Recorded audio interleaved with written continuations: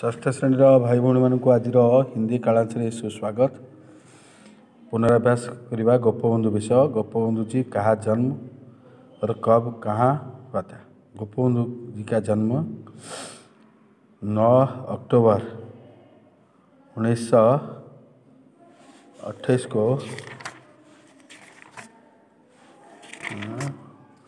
अठारह सौ सतहत्तर नौ अक्टूबर अठारह सौ सतहत्तर को पुरी जिला की सुवांडो ग्राम में हुआ था।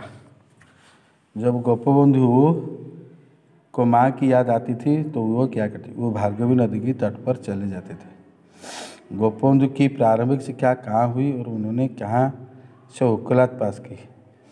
गोपबंधु की प्रारंभिक शिक्षा गाँव की चटसर में हुई, वो वकीलत कोलकाता में पास की। गोपबंधु की किस जीवन का आदर्श मानते थे? शिक्षक जीवन को आदर्श मानते थे। अंग्रेज़ी शासनकाल में उन्होंने क्या किया? अंग्रेज़ी शासनकाल में उन्होंने नवीन शिक्षा पद्धति का श्री गणेश किया। गोपबंधु जी ने विद्यालय की स्थापना कहाँ की? साखी गोपाल के निकटवर्ती बकुल वन विद्यालय में की। उस विद्यालय का उद्देश्य क्या था?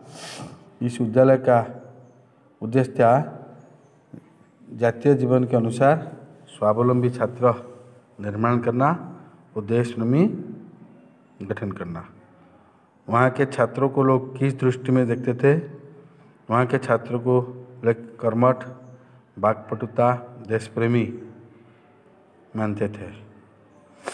सत्यवादी वन विद्यालय में कौन कौन शिक्षक थे? पंडित गोपबंधु दास, नीलकंठ दास, आचार्य हरिहर दास कृपा सिंधु, आचार्य महोदय।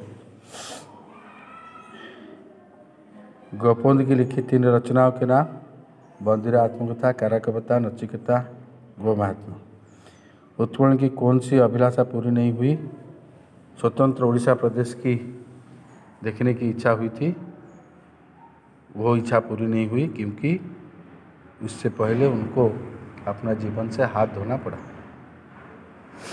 आज मैं एतिकी करवा धन्यवाद